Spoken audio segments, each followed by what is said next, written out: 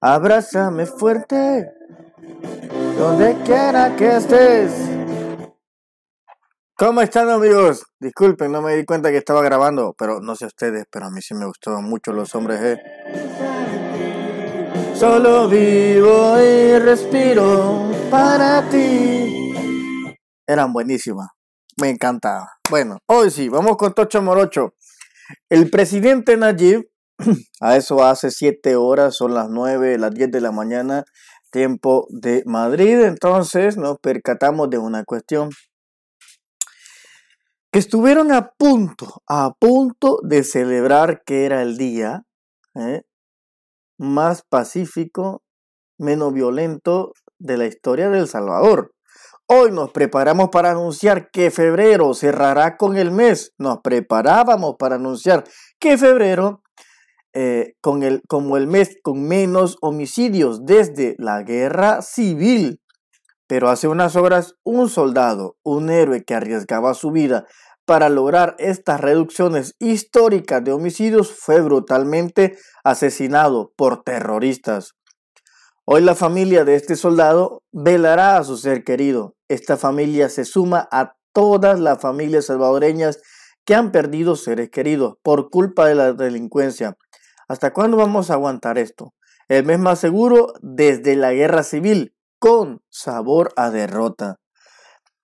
Esta es de las pocas veces desde que yo soy consciente de lo importante de la política quiere decir desde Mauricio Funes y, y afuera de Tony Saca, es que yo ya estaba siendo más consciente de esto y nunca había visto comunicado de esto. Fíjense, fíjense cómo es. Si hubiera sido un rico, no hombre, ahí ven hasta Ernesto Mason publicando mis condolencias por la pérdida del señor Giorgio Bustamante o, o el señor Cristiani. No, ahí lo ven a toda la oligarquía. El diario de hoy en primera plana, nuestro pésame aquí al señor eh, Reich, no sé qué, eh, Sol Van Reich, con esos apellidos extraños. Ah, pues ahí son los primeros en convocarse. Pero cuando muere un héroe que da la vida por sus connacionales, como mínimo, deberían, debería el diario de hoy, la prensa gráfica, colocar un pésame, pero no. Eso, eso, esa clase de, empresas como el diario de hoy deberían de pagar impuestos. Presidente, mande ya y si no quiere, no se preocupe. Lo vamos a hacer en el 2021 que tengamos el vergo de diputados. Vamos a hacer que paguen todo lo que no han pagado. René Francisco Merino Monroy dice, ¿cómo duele perder un compañero de armas? Es como perder un hijo. La patria te pidió que le sirvieras y lo hiciste como comando. Sus enemigos te asesinaron cobardemente, pero vivirás en la memoria de todos los salvadoreños. Descansa en paz, Elías Díaz Amaya. Y aquí vemos al chamaquito que está con todos los poderes. Te preparaste en el curso de comando, te tocó dar la vida. Y aquí la vemos, miren, estaba muy jovencito, la verdad. Estas pérdidas son las que duelen. Eh, que le hubiera pasado esta norma en Quijano, no, hasta celebramos fiesta nacional. Pero uno de los de nuestro pueblo me duele mucho. El soldado Santo Elías Díaz Amaya, igual que todos los miembros, miren, igual que todos los miembros de nuestra institución, estaba comprometido en proteger la vida de los salvadoreños. Y ahí sigue, condenamos enérgicamente el cobarde asesinato de un soldado en el departamento de Morazán. Cerrando el mes, podemos confirmar que febrero 2020 desbanca a enero 2020 como el mes con menos homicidios de la guerra civil.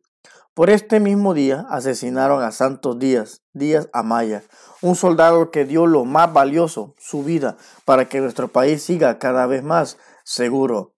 Ahí está, el presidente le ha dado el pésame a Elías Díaz Amaya. La verdad que este tipo de cosas es necesario que las concienticemos y no hubiera pasado nada de esto si los diputados no hubieran dado no hubieran negado a dar el voto. Así que amigos, esto como dijo el presidente, es un éxito con sabor a derrota. Es una triste historia, pero todo esto es culpa de los diputados. Hoy son las elecciones en Nuevas Ideas. Yo los invito a todos a los que podamos votar, que lo hagamos. Yo lo voy a hacer en directo, haré mi votación. Así que eh, para que ustedes lo sepan, ahí vamos a hacer nosotros el directo. Y espero que estén pendientes para saber cómo se vota. Muchas gracias por todo familia. Hasta pronto.